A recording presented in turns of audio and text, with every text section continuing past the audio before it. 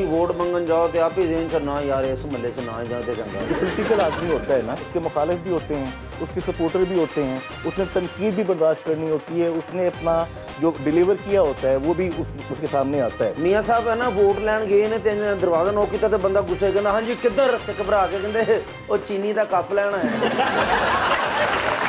इसके हाथ की हथकड़ी नहीं थी फिर उन्होंने बड़ी मोहब्बत इज्जत और एहतराम के साथ गाड़ी में बिठाया अच्छा वहाँ भी पूछ रहा था भाईजान वहाँ जाके मेन्यू क्या है तीन दिन के लिए आपको वजीर आजम बना दिया जाए तो सबसे पहला आप क्या काम करेंगे सर तीन दिन में मैंने क्या कर लेना है ਤੁਸੀਂ ਤਕਰੀਰ ਕਰ ਰਹੇ ਹੋ ਜਲਸੇ 'ਚ ਕਿ ਮੈਂ ਇਸ ਇਲਾਕੇ 'ਚ ਚੋਰੀਆਂ ਮੁਕਾ ਦਿਆਂਗਾ ਤੇ ਘਰ ਜਾ ਕੇ ਪਤਾ ਲੱਗੇ ਤੁਹਾਡੀ ਜੇਬ ਕੱਢੀ ਗਈ ਹੋਵੇ नहीं ऐसा कभी नहीं सच बताऊं हाँ हाँ these pants are from Zara और ये लंडे से ली थी मैंने।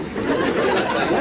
तो आपने जाते हुए दुकान जो है मुझे भी दिखा के जानी है। मैं कहा सर जी मैं बोलना नहीं तो फिर मैनू क्यों नाल ले आए हो? हाँ। कहते ने तू सिर्फ़ पीछे बह के ये देखना कि जो मैं बड़े मियाँ साहब नाल गल करा हाँ।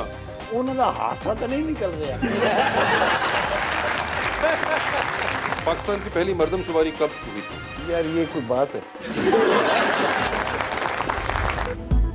देखिए गप शप। आज रात ग्यारह बजकर पाँच मिनट पर।